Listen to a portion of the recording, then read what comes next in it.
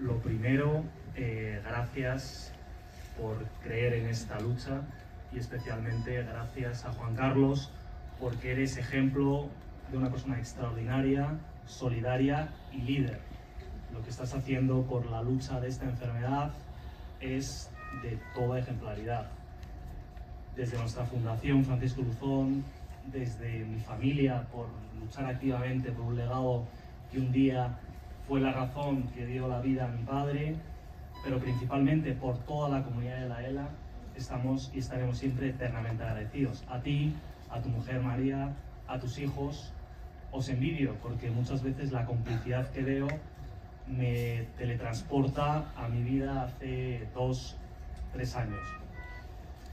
Principalmente os quiero dar las gracias por creer y concienciar a esta sociedad, una sociedad que tiene que luchar por creer en los valores, ¿no? lo que hablábamos antes, no todos son cuentas y hay que sembrar cada día los valores en nuestra sociedad porque seremos una sociedad mucho más rica. Además de concienciar y dar valores en esta sociedad, te agradezco tu constante obsesión por la importancia de la investigación. La investigación es la esperanza, ilusión de muchos de los que estamos aquí y tristemente de muchos que todavía no están diagnosticados. Para nosotros las becas, tu esfuerzo con el gran partido benéfico, la lucha y tu contribución siempre serán recordados. Probablemente muy pronto serás un caso de estudio de una gran escuela de negocios internacional por tu liderazgo, porque hoy ya no todo está en el S&P, en, en, el IBEX, ¿no? está en la calle, ¿no? y tú eres un líder de la calle. Y nada, ya por último y acabo, eh, la importancia de, hoy tenemos aquí amigos de Ciudadanos, la importancia de, de nuestra ley, la importancia de dignificar la vida de los enfermos y sobre todo no decaer, ¿no? O sea, seguir luchando porque buscamos dignificar la realidad de todos los enfermos. Y eso es importante, no solo los que están aquí, sino que todos vosotros seáis altavoz de una realidad que hace unos años era ignorada, pero hoy ha cambiado, pero queda mucho por hacer. Nada, eternamente agradecidos y tienes un liderazgo y una familia envidiable.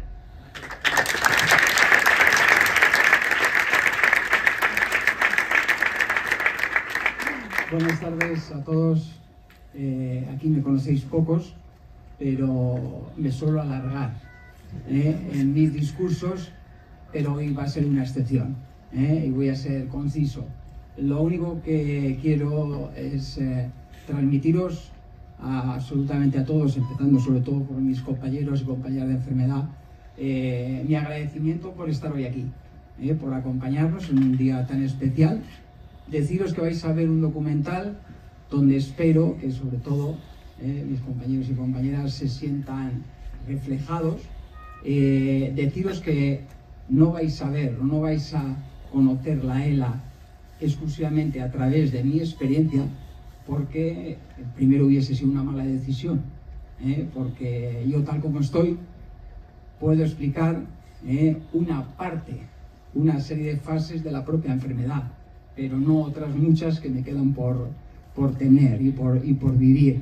Entonces salen otros siete compañeros de enfermedad que entre todos hemos sido capaces, yo creo, eh, y con un gran trabajo del equipo de Xavi Torres y, y Tele3, eh, de explicar a la gente y concienciar a la gente en toda su extensión qué es la ELA.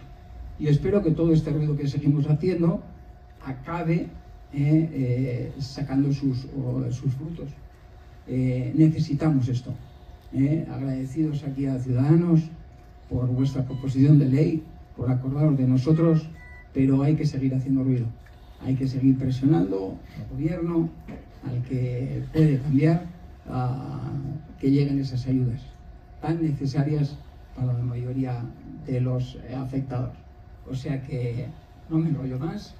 Espero que disfrutéis de la, del documental y eh, nada, les quedamos. Gracias.